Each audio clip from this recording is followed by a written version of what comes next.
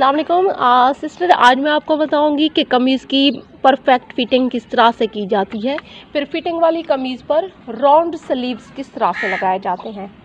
तो ये देखें, आप जिस कमीज़ पे फिटिंग चाह रही हैं, अच्छे से कमीज़ की फिटिंग कर लें। कमीज़ की फिटिंग करने के बाद आपने पहन कर चेक करती हैं या उसको नाप कर चेक करती हैं। दोनों तरीक़ों से आप कर सकती हैं। ये करने के बाद आपने जो राउंड स्लीव्स लगाए जाती हैं, ये बाद में लगाए जाते हैं। ये देखें मुकम्मल कमीज़ की सिलाई करने के बाद आपने स्लीव्स को भी तैयार कर लेना है। जैसा कि ये देखें स्लीव्स अलग से तैयार है। अब ये कमीज़ के साथ किस तरीके से अटैच होते हैं, आपको ये बताती हूँ। आपने क्या करना है? ये जो कमीज़ है ठीक है? ये जो इस कमीज़ का गला है, देखें, ये कमीज़ का गला है, यहीं से थोड़ा सा इसको यहाँ से उल्टा कर दें। ये आर्म होल है, ठीक है? गले से कर सकती हैं, कमीज़ को उल्टा भी कर सकती हैं। दोनों दोनों तरीक़ों से किया जा सकता है, बस ये कि इसका होल जो है, वो उल्टी साइड पे करना है। तो ये देखें, मैंने उल्टी साइड पे ये कर दिया है। ठीक है? इसी सलीव्स को, ये जो सलीव्स आपने तैयार किया है, इसको आपने ऐसे सीधा करना है। ठीक है? इसको उल्टा नहीं करना। इसी सीधे को, एक मिनट मैं थोड़ा कैमरा पीछे करती हूँ ताकि आपको वाजे दिखे। हाँ जी। अब देखें, यही तैयार शुदा सलीव्स जो है, इसको इस आर्म होल के अंदर डालना है। किस तरह डालना है देखें।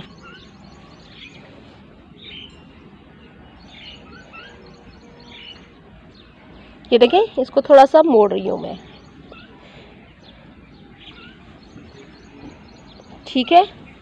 यानी कि कमीज़ की उल्टी साइड पे आपने ये जो आर्म होल है, इसकी सीधी साइड।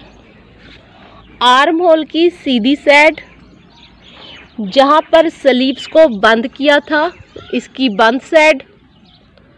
ये देखें। ये ऊपर है, ये जो कंधार है, ये ऊपर है। जहाँ पर ये स्लीव्स बंद किया था, ये वो जगह है। अब इसको इसी उल्टी कमीज़ के अंदर, ठीक है? ये देखें, मैं अंदर डाल रही हूँ। इसको अंदर डालें। यही जो जहाँ पे स्लीव्स बंद किया था, उसको और जहाँ से कमीज़ बंद किया था। कमीज़ जहाँ से बंद किया था, इन दोनों को आपने यहाँ से इस तरह से बेशक कॉमन पिन लगा लें, हाथ से पकड़ लें। यानी कि इनको इसी जोड़ को आर्म होल के आर्म होल जहाँ बंद किया था, उसके जोड़ को को, और जहाँ पर ये कमीज़ बंद की थी, इस जोड़ को इस तरह से बराबर पकड़ लें। बराबर पकड़ लें। अब क्या करना है? इसी के अंदर ये जो आर्म होल का होल आ रहा है इसको, ये देखें, इसी के अंदर निकाल लिया मैंने। स्लीव्स को इस आर्म होल के मैंने अंदर निकाला। दोनों को इस तरह से आप नाप कर कर देख सकते हैं कि क्या दोनों बराबर आ रहे हैं। ठीक है? जो कि ये आप काम पहले नाप जब फिटिंग करती हैं, तब ये पहले आप नाप कर चुकी होती हैं कि क्या दोनों का जो आर्म होल रखना है स्लीव्स का आर्म होल और कमीज़ का आर्म होल दोनों का आर्म होल बराबर रखना होता है। फिर कमीज़ के अंदर, कमीज़ की उल्टी साइड के अंदर सलीव्स की सीधी साइड सलीव्स की सीधी साइड को आर्म होल के अंदर रखना होता है। आर्म होल के अंदर रखते हुए आर्म होल के अंदर रखते हुए सलीव्स के जो कंधे का कट होता है, ठीक है, दरमियान का उस कट को, ये जो कमीज़ का, ये जो आ रहा है कंधे का, ठीक है? इस कंधे के जोड़ को और सलीव्स के जो, सलीव्स का जो कट लगा हुआ होता है, इन दो को बराबर आ जाना चाहिए, ठीक है? उसके बाद यहाँ से देखें, जहाँ पर कमीज़ बंद की है और आर्म होल जहाँ बंद किया है, इन दोनों ये जो जोड़ होते हैं, इन दोनों को भी बराबर आ जाना चाहिए। ठीक है, अब आपने इसकी सिलाई किस तरह से लगानी है, ये देखें। देखें, ये बिल्कुल बराबर है। अब आपने जो इसकी सिलाई करनी है, वो इस तरह से करनी है। जो सलीव जहाँ हम बंद किए थे, ये वो जगह है। और जहाँ पर ये कमीज़ बंद की थी, ये वो जगह है। ठीक है, अब क्या करना है, ये देखें। ये जो एक्स्ट्रा कपड़ा है, थोड़ा सा इसको हमने इस तरफ़ कर लेना है, मोड़ के। और ये जो कपड़ा है ये थोड़ा सा इस तरफ़ कर लेना है। इस जोड़ को और इस जोड़ को बराबर रखते हुए हमने राउंड सिलाई लगानी है। जब राउंड सिलाई लगा रही हो तो इस बात का ध्यान रखें कि ये जो दरमियान का कट है, ये दरमियान के कट के ऊपर आए। आप देखें ये सिलाई मैं किस तरह लगाती हूँ। अब इसी को मशीन के अंदर रखें और ऐसे गोल सिलाई लगाती जाए।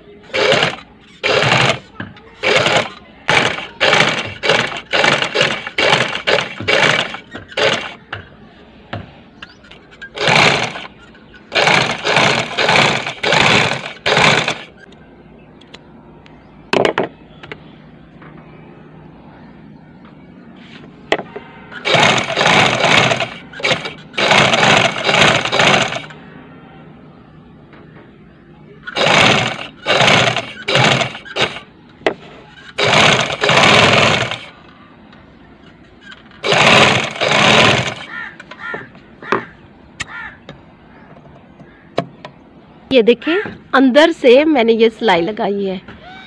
इसी आर्म होल के अंदर। और यहाँ से देखें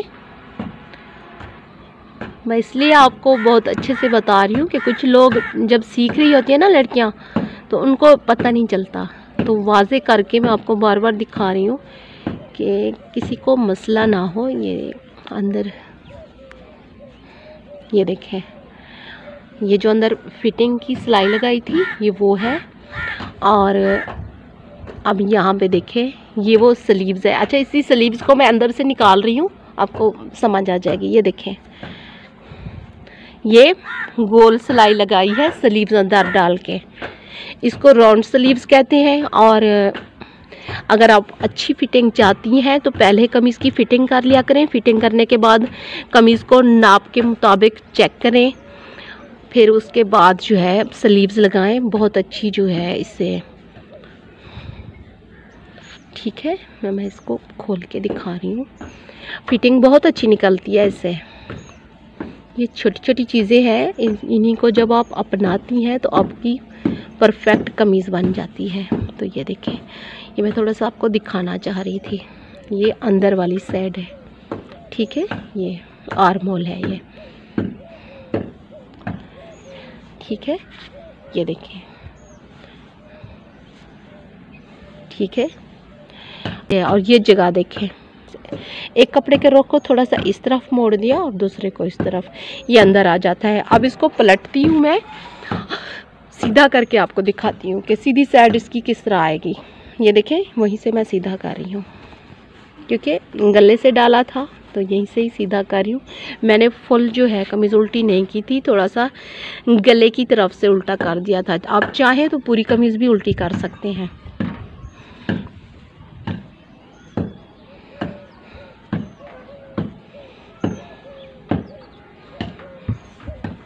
ये देखें। ठीक है? इस तरह से ये डाले जाते हैं। सेम इसी तरीके से आपने दूसरा स्लीव्स भी लगा लेना है, जो कि मैंने पहले से लगा लिया था। ठीक है? ये देखें। ठीक है? दोनों स्लीव्स आपने इस तरफ़ जोड़नी है। ये जो तीन चार चीज़ें मैंने आपको बताई हैं, मैं ये बहुत अहमियत रखती हैं। अच्छा तीन चार चीज़ें आप कैसे कह, आप कह रही होंगी तीन चार चीज़ें कैसे कह रही है? क्योंकि मैंने तो ये अभी एक वीडियो बनाई है। इससे जो पिछली वीडियो है, इससे पहले मैंने कुछ वीडियोस बनाई हैं। आप वो मेरे चैनल पे देख सकती हैं। स्लीव्स की फ़िटिंग का तरीका कमीज़ की फ़िटिंग किस तरह से की जाती है, उसका सही तरीका कौन सा है? अगर बिजली नहीं है तो कमीज़ का गला किस तरीके से बगैर बिजली के आप बना सकती हैं और बैक साइड की पट्टी परफेक्ट तरीके से आप किस तरीके से बनाएँगी। अहम चीज़ें हैं जो बहुत ज़्यादा सिलाई में अहमियत रखती हैं, ये मैंने बताई हैं, इन चीज़ों को नोट करें। किसी भी अच्छे इदारे में अगर आप डिज़ाइनिंग सीखने के लिए जाएँगे तो आपको यही चीज़ें सिखाएँगे। आप डिज़ाइनर का कोई डिप्लोमा कर रही हैं किसी भी अच्छे इदारे में तो आपको इन्हीं चीज़ों से गुजरना होगा। जितनी भी चीज़ें मैंने अब तक चैनल पे बताई हैं कोई देसी तरीका नहीं बताया मैंने। इसलिए ये इदारों के अंदर सिखाई जाती हैं और मैं आ, और मैं कई सालों से टीचिंग कर रही हूँ। मुसलसल मेरा सिखाने का काम है। तो कई मराहल से मैं गुज़र चुकी हूँ। मैंने खुद भी कई साल पहले सीखा और कई सालों से मैं सिखा रही हूँ। तो इसलिए जो मैं चट चट चीज़ें बताती हूँ ये बहुत अहम होती हैं। आप इनको नोट करें, इन पे अमल करें। यही तरीके अपनाएँ, ये परफेक्ट तरीके हैं। इन्हीं तरीक़ों को आजमाते हुए अगर आप ये सिलाई सीख जाती हैं तो आने वाले कल में आप बहुत अच्छे तरीके से दूसरी लड़कियों को भी सिखा सकती हैं। तो वीडियो पसंद आई हो तो चैनल को लाइक सब्सक्राइब ज़रूर कीजिएगा। इन नेक्स्ट वीडियो के साथ मिलते हैं।